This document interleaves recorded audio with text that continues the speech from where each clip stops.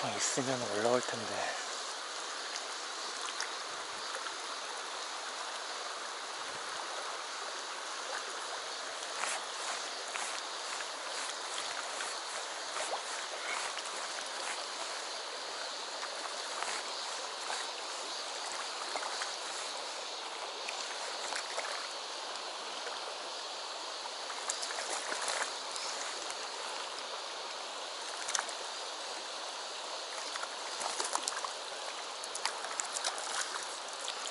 아, 깨끗한 산천어입니다.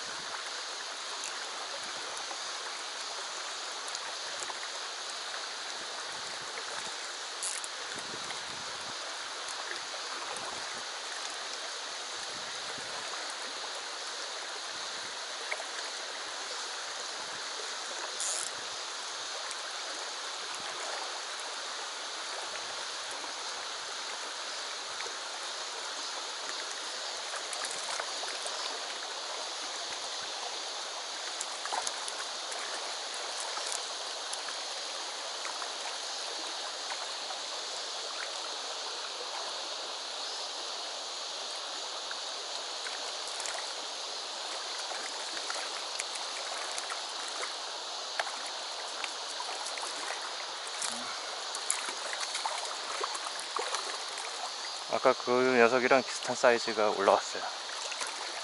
음.